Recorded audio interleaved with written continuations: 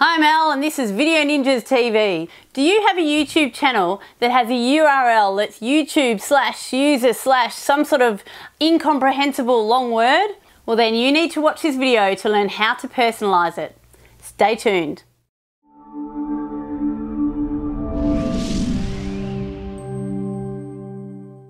So what you need to do is you need to go to the cogwheel, which is YouTube settings and click that, you'll be taken to the overview page and then you'll see a little advanced here next to the name of your channel.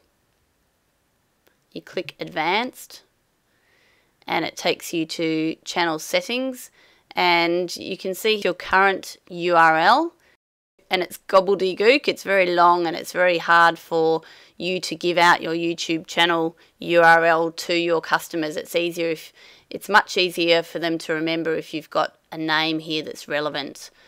So click create custom URL and then in this box you put a URL that's either your business name or a keyword or something that's relevant. And a very important note is once you've set your custom channel URL, it cannot be changed. You've only got one go at this, so make sure you choose a good one. And if you want a name that's already been taken, YouTube does give you some other ideas. And if it's a success, you'll get a tick and it will say you've created a custom URL and that's a new URL.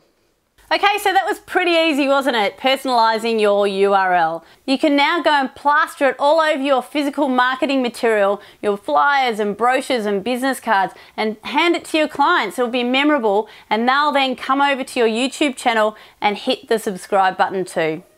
Now, did you find this video useful? If you did, please go ahead and comment, like, and share it with all your friends. And if you want to receive regular videos filled with tips and tricks on online video marketing, make sure you hit the subscribe link above or the subscribe button next to me. And I look forward to seeing you in the next video.